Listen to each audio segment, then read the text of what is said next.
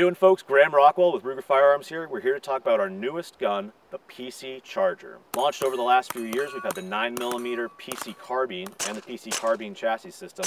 This is our new pistol version, the PC Charger. A lot of the same great features as the PC Carbine. We have the interchangeable mag wells, ships with an SR magazine, but with the included mag well, you can use Glock magazine. It's got the same dead weight blowback action with the tungsten weight, as well as ambidextrous controls. Similar to the PC chassis system, the PC Charger also has the built-in Picatinny rail in the back here, which makes it brace ready, AR grips, and on the PC Charger we have a six and a half inch barrel, threaded half 28, so you can put on any of your muzzle accessories or suppressors. On the hand grip itself, it's still a takedown model. We've actually incorporated the takedown mechanism into the hand grip itself, and we have M-LOK accessory rails at the 3, 6, and 9 position, and a factory installed hand stop at the 6 o'clock position. So if you're interested in checking out the new 9mm PC Charger pistol, check out Ruger.com or visit your local firearms retailer.